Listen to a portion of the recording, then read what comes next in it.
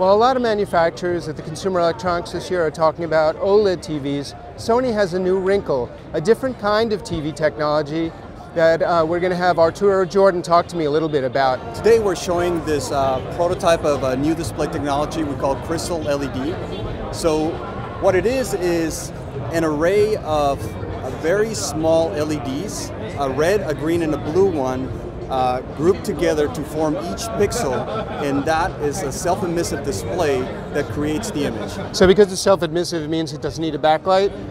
Exactly. So it's it's not it's not only the light source, but it also creates the image. Uh-huh. Now, one of the things that I've heard is that it has a lot of the same advantages that OLED TVs have, and that's uh, the contrast is higher, good black levels, um, the wider viewing angle than we've seen with LCD TVs.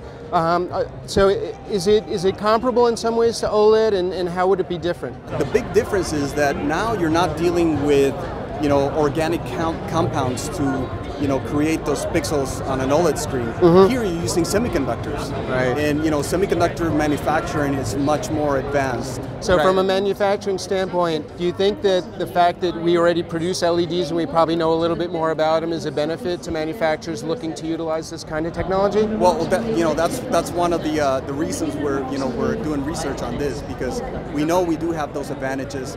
You know, LED manufacturing is getting more and more advanced you know, where, you know, this would be very easy to scale up because once you figure out how to, you know, lay down a screen of a certain size, to make one bigger, you just put more LEDs. Right.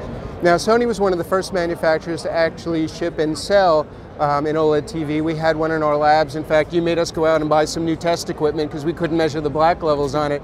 Um, is Sony still involved in OLED technology and developing that to see whether it's a commercialized product? Yes, uh, we're, we're, still involved in, in OLED uh, research.